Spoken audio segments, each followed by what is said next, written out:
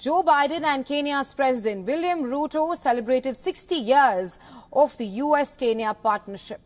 And in a bid to pledge a new era of ties between the two countries, Biden has pledged to designate Kenya as the country's first key non-NATO ally in sub-Saharan Africa. I'm proud to announce we're working with Congress to designate Kenya a major non-NATO ally. That's a fulfillment of years of collaboration Kenyan President William Ruto is on a three-day state visit to Washington, D.C. Ruto's trip is the sixth state visit hosted by the Biden administration and the first for an African president since 2008. Ruto used the state visit to call on economies around the globe to take action to reduce the enormous debt burden crushing Kenya. I have underscored the imperative for our partnership to facilitate recovery from these multiple crises, and particularly for the United States of America to take a leading role in a comprehensive debt resolution framework. This week's meetings, dubbed as a Nairobi Washington vision, comes amid Biden's appeal to African nations that the U.S. can be a better partner than China as Beijing deepens its investment in the continent through high loans. Meanwhile, in a joint statement, Biden and Ruto announced a range of new U.S.-backed investments in green energy and health manufacturing, along with a plan to cut Kenya's high debt load. Meanwhile, the White House is also throwing one of its biggest ever state dinners for the Kenyan president, further catering to the African leader's tastes by showcasing two uniquely American types of music, gospel and country.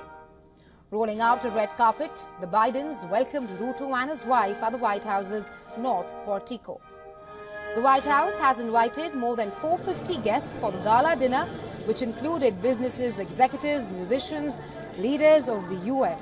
Well, this is the sixth and the largest of the state dinners that Biden's administration has hosted so far. Thank you. Thank you. Thank you so much.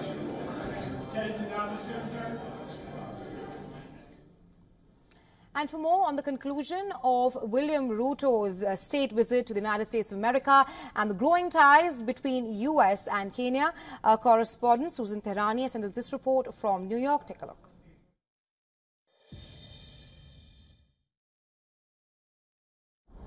The designation is significant because it reflects the deepening relations between the United States and Kenya and demonstrates the Biden administration's commitment to strengthening ties with Africa as a whole as a major non-NATO ally Kenya can have access to enhanced security cooperation, technology sharing, as well as economic partnerships with the United States. The move also sends a message to countries like China and Russia that the United States is serious about its engagement in Africa and will not cede ground in the region. Additionally, Kenya's status as the first sub-Saharan African country to receive a designation like this highlights its strategic importance for the United States in the region.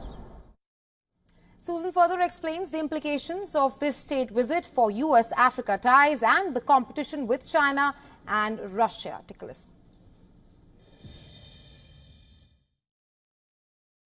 There's no doubt that this state visit marks a significant moment in U.S. Africa relations and demonstrates the Biden administration's commitment in engaging with the African continent and building partnerships that go beyond traditional development assistance.